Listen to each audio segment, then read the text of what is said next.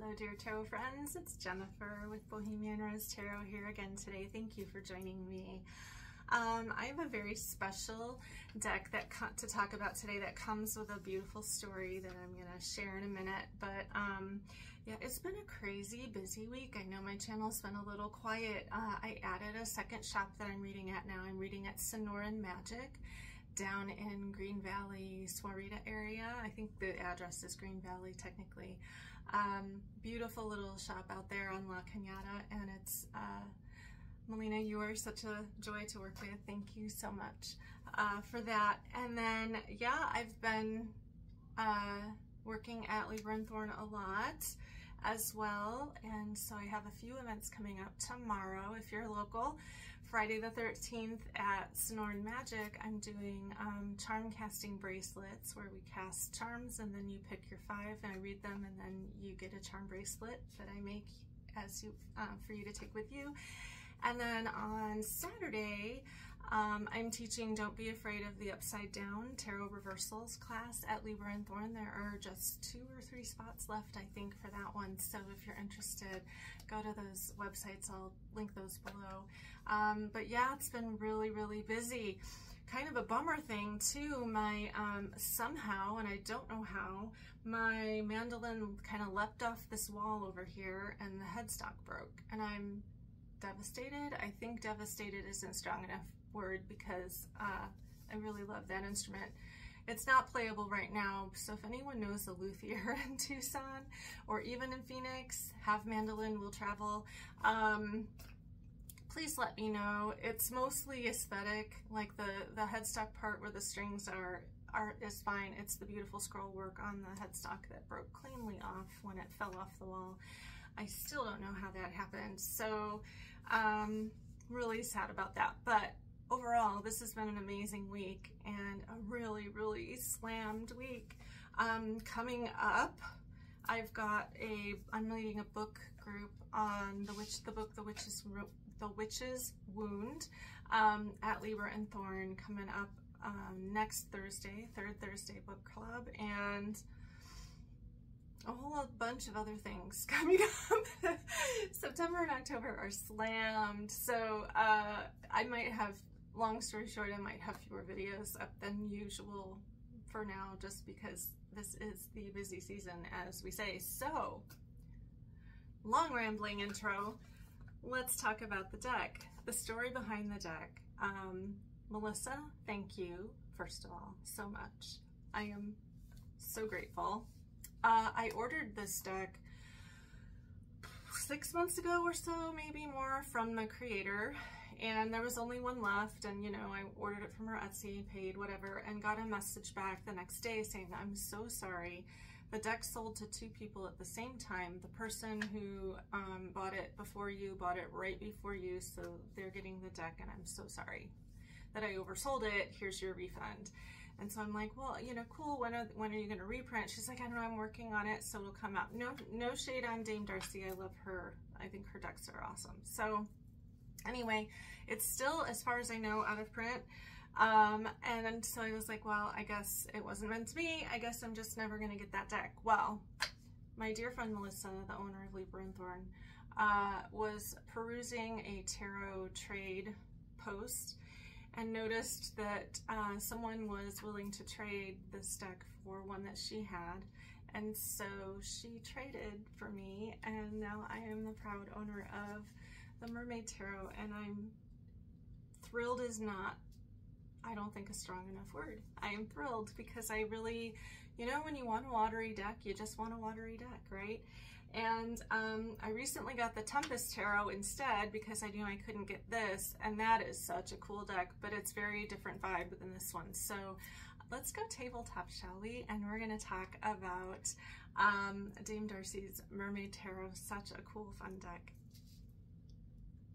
All right, so here we go. Um, just a heads up, if you are trading decks or sending decks, please wrap them in a box. This is, I'm sure it was just someone didn't know. They put it in a bubble mailer and thought it would be okay. And now there's a lot of damage to the box that wasn't there. The cards are just fine. But just a heads up, if you're gonna, a bubble mailer isn't safe enough for a deck. So please be sure um, that you, you know, you just wrap it in bubble wrap and put it in a box and then put it in a mailer maybe. But again, no shade. If you don't know, you don't know. And uh, you never know how UPS is, or USPS, I should say, are going to handle um, your packages. Sometimes they get a little rough with them. So, but really minimal damage. I'm not worried about it at all. Um, nice magnetic box. There's the inside and the beautiful backs. Um, and then here's the, the little card that, that comes with it and her cover card. The edges are this, the camera isn't showing this very well. The, the color is a beautiful peach. It's It almost looks the same as the um, Tarot of Oneness edges, if that makes sense. This looks very orange on camera. It's much more peach than orange. Okay, and again, I, I think the backs are so pretty. So here we go. I love the Fool, and I love this drawing style. It's just fun. It's It feels very tattoo art to me as well. So there's the Fool. There's our lovely Magician. Our High Priestess. The Empress. The Emperor. I love how he's holding someone's hand here, a woman's hand, a mermaid's hand, I'm thinking. Hierophant. And I love that that's a statue underwater. I think that's really clever the lovers. I just noticed, I didn't realize she signed signed each card. I didn't I didn't realize that. So there's the chariot. Strength. The hermit. I love the sunset in the background. Wheel of Fortune. Justice. The Hanged Man, Soldier. Death. This is a really powerful death. Death is riding a seahorse here, and we've got a, a poor a poor sailor at the bottom of the sea. Um, temperance.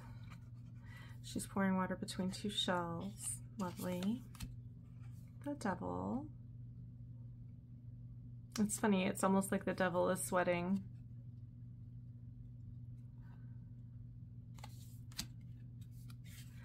the tower, a beautiful tower with the big wave, the star.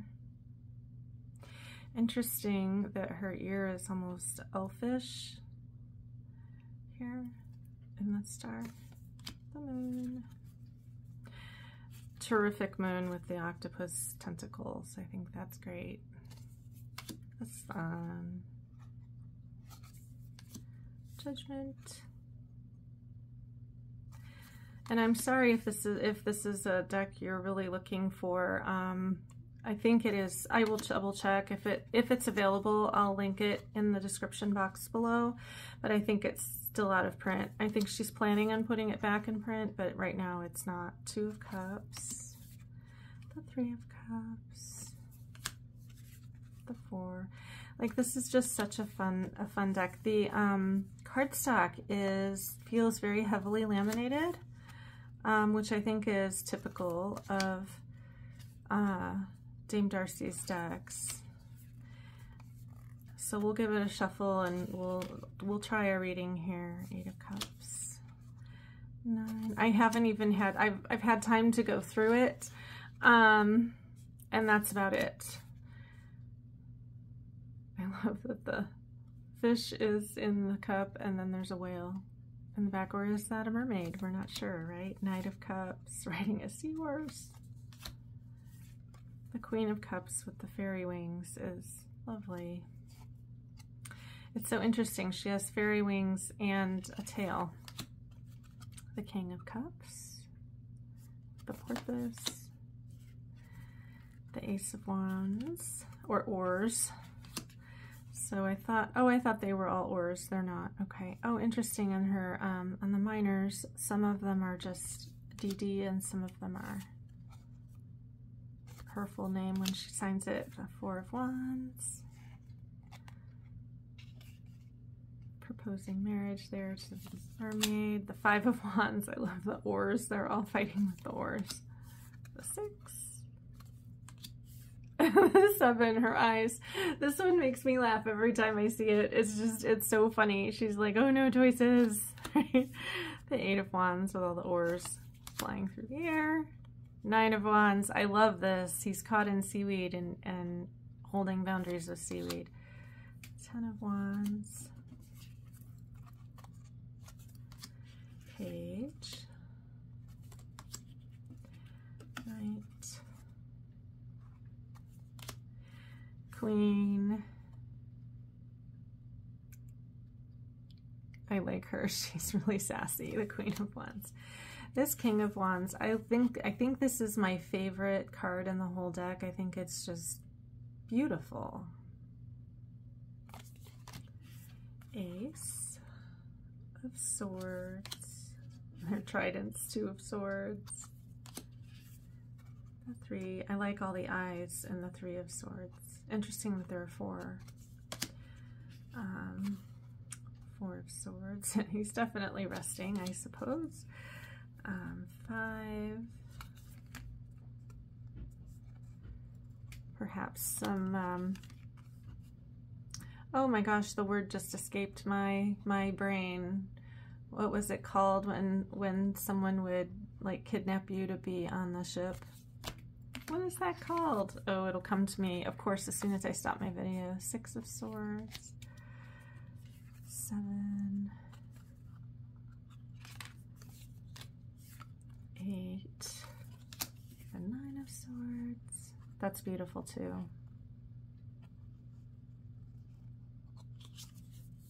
and the 10.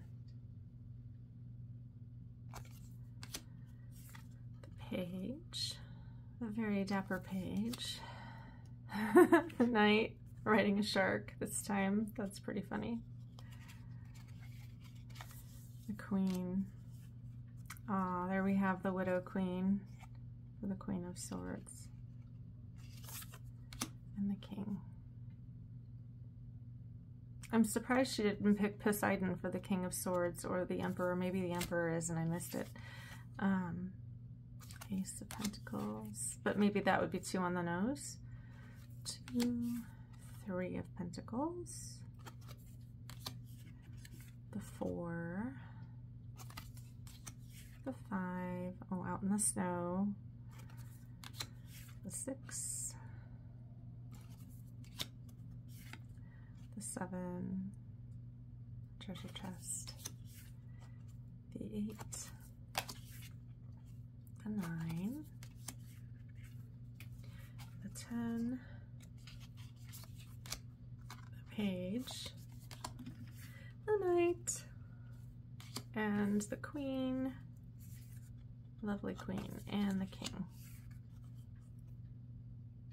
All right, so yeah, I was talking to my friends um, and about the Tempest Tarot and the, I'll go through the Tempest Tarot someday if I haven't yet. I think I did though. Um, and I feel like that's my Pirates of the Caribbean deck. Like I ordered it after I figured I couldn't ever get this one. And that's kind of my Pirates of the Caribbean deck. And then this one, I don't know. This one I haven't decided where it kind of fits yet. Um, let's see how it shuffles. I'm going to guess it's pretty, yeah, it's pretty stiff. So this, this cardstock doesn't really like to riffle shuffle, but that's okay. We'll try one more time. It's okay. Like I think it'll loosen up as I, as I work with it. Um, but for now, this might be one of those waterfall shufflers, right? Let's see if that works better. Oops. Maybe it'll they don't, you know, they're not sticky really. They don't, it's as laminated as they feel. They don't really clump terribly. Um, it'll fan pretty well. You know, it fans pretty well. So yeah, it's, um, it's a fun little deck and I'm thrilled to have it. And again, I never really thought I'd get it because I just thought, well, I'm not meant to have it, right? When, when that happened. So Um, I love it when a deck finds your way to you in unexpected ways, right? And this one, um, again, thank you so much, Melissa. I'm really thrilled to have it. Let's see what we got here. We'll do a little, um, how about we do, I call it the Lisa Pepez uh, layout or spread. It's energy obstacle advice, I think. So let's give that a try. So we're going to pull one from the top for energy. Page of Cups, one from the bottom for obstacle. Four of Cups and one for the top for advice. Oh, the world. That's lovely. Okay, so energy, Page of Cups.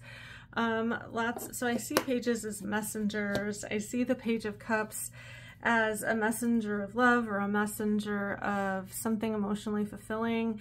It's also kind of I feel like the the pages all hold the ace of their suit, so he's holding this ace and wondering what to do with it, right? So some kind of new beginning or message or um, some some kind of something that's gonna fill my cup, or maybe even um, a young person who's um, gonna come into my world to help me fill my cup or learn something new about my emotional self. However, usually just for me, my intention when a court card comes on the table um, it's usually the energy of the querent for me first, and then the second court card is um, someone else or other energy. Okay, so Page of Cups, someone who is um, kind of bright-eyed and innocent with lots of love to give in their heart and lots of wonder and curiosity. So that's the Page of Cups. And then, and I, I do feel that I'm in a Page of Cups moment in my life right now. And then, um, so energy, obstacle, Four of Cups. So what ace am I missing? It's interesting that here's an ace in the Four of Cups. She's got her four shells here and she's looking at this kind of with the side eye. Usually in the Four of Cups, they're not looking at the cup at all. They're kind of looking here and not seeing the opportunity. Here she's actually seeing the opportunity and giving it a side eye.